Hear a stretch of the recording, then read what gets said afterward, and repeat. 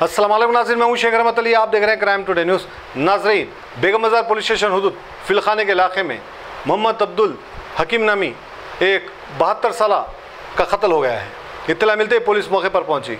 इस मामले में पुलिस ने एक केस दर्ज करके मजीद तहक़ात शुरू कर दी है और कातिलों की तलाश शुरू कर दी है। सी कैमरों के ज़रिए।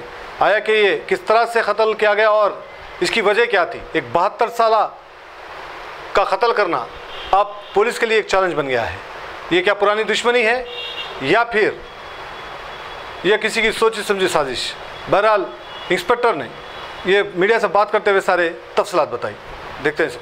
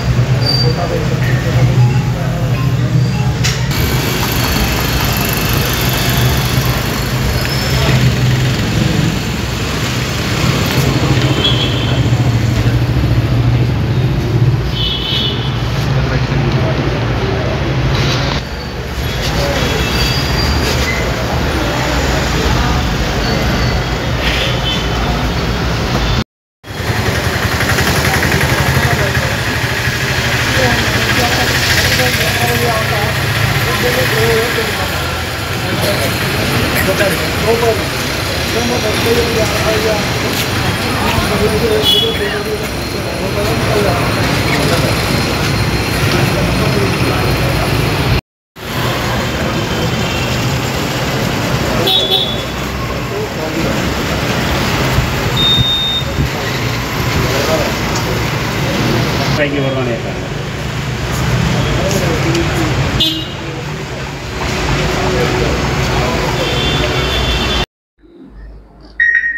आज सुबह seven thirty two eight o'clock time पे एम मोहम्मद खलील बोल के एक आदमी पुलिस स्टेशन आके कंप्लेंट दिया।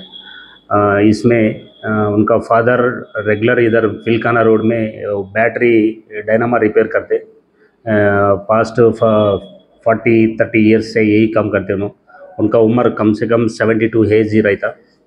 ये डेली उन्होंने शाम में तीन बजे कहा के काम करके अ, फिर मिडनाइट अर्ली मॉर्निंग थ्री बजे के उनको घर चले जाते इधर से। डेली ऐसा होता। आज क्या हुआ? आज सुबह सात बजे तक वो घर नहीं आते थे इमिडिएटली उनका बड़ा बच्चे अ, इधर बेगम बाज़ार का आके अ, फिलकाना में उनका जो शॉप है ना शॉप को जाके देखे तो शॉप के बाहर ये डोर क्लोज करा। इमिडिएटली इन्हों ओपन करके देखे तो अन, अंदर पूरा उनका जो उनका पापा है ना उनका पापा हेड इंजरी से गिर गया नीचे। पूरा ब्लड सेंस ऐसा है तो उन्होंने इमिडिएटली पुलिस वाला कार करते पुलिस वाला भी विज़िट करा सिर्फ़ हमारा ए सिप साहब डी सिप साहब पूरा मैं भी विज़िट करके पूरा वो फिंगरप्रिंट्स टीम क्लूज टीम टॉक्स टीम पूरा वेरीफाई करा। अभी वो बॉडी भी शिफ्ट करा और बाद में इन्वेस्टिगेशन अभी वो चल रहा सीसीटीवी फुटेज हंड्रेड परसेंट इनको जो अपराधी है इमीडिएटली पकड़ दूँगी ये केस में। सर कंफर्म मर्डर है फिर? ये हंड्रेड परसेंट मर्डर मर्डर है। क्या हुआ इसमें वो ये सिर का पूरा इंजुरीज है जो डायनामा मोटर बैटरी का डायनामा रहता ना ये ड्राइमा डायनामा लेके पैनल लेके इसको मारे इस पूरा मल्टीपल इंजुरीज है हेड में। बॉडी में कुछ मारा है बॉडी में कुछ भी नहीं है इंजुरीज खाली हेड में है ज़्यादा इंजुरीज। उधर पे उन्होंने मर गए।